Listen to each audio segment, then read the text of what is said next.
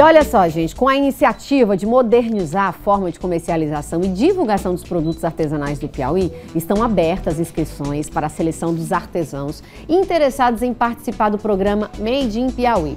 E Hidria Portela traz detalhes aí sobre esse evento e que vai aí beneficiar muitos artesãos. Solta aí.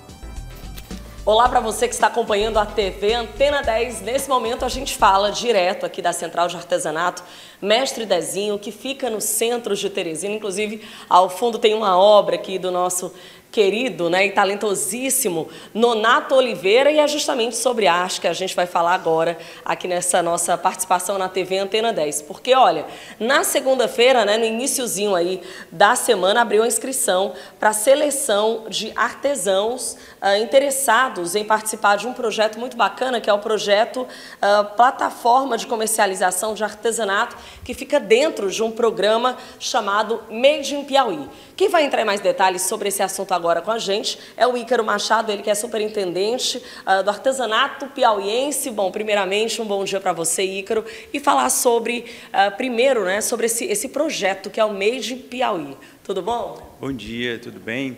É, esse projeto é um projeto desenvolvido pela Invest Piauí, então, o programa Made in Piauí é um programa que visa é, alavancar o desenvolvimento econômico de produtos tipicamente piauienses. Então, a gente tem produtos que vão além do artesanato e a nossa parceria com a Invest firma-se através da participação do artesanato piauiense nessa plataforma. Então, a gente abriu esse edital e esse edital permite que os artesãos se inscrevam para a gente fazer uma curadoria, através de um projeto também que temos aqui, que é a Casa do Artesão Design, de curadoria de artesanato, e a gente permite que esses artesãos selecionados participem comercializando seus produtos. Bom, são quantas vagas e quem de fato pode participar? São ao todo 10 vagas nesse primeiro momento e pode participar todo artesão piauiense que tem a carteirinha. Essa carteirinha é emitida aqui pela SUDARP, que fica na Central de Artesanato Mestre Dezinho.